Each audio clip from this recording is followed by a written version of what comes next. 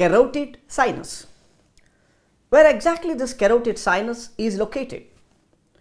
The carotid sinus is seen at the termination of the common carotid artery or we can say the beginning of the internal carotid artery where you can see a slight dilation which is known as the carotid sinus.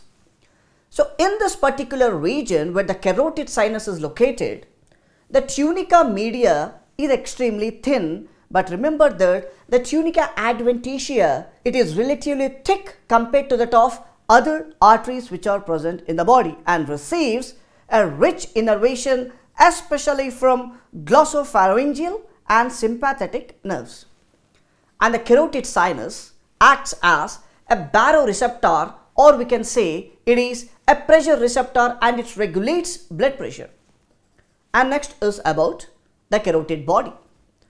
Carotid body is a small, oval, reddish brown anatomical structure situated behind the bifurcation of the common carotid artery.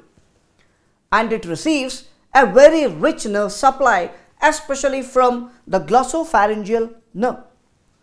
And this carotid body acts as a chemoreceptor and responds to the changes in the concentration of oxygen, carbon dioxide as well as pH content of the blood.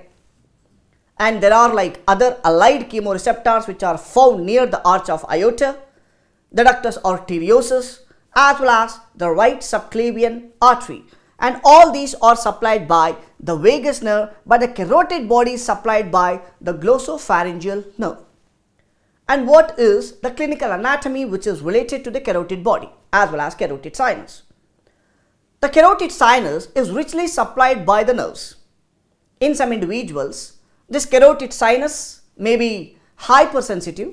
In such cases, sudden rotation of the head may cause slowing of the heart which is called as bradycardia. And this particular condition is called as the carotid sinus syndrome.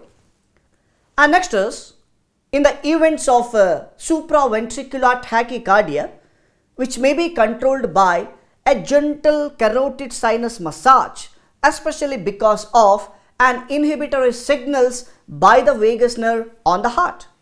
And by this we completed the carotid body as well as carotid sinus.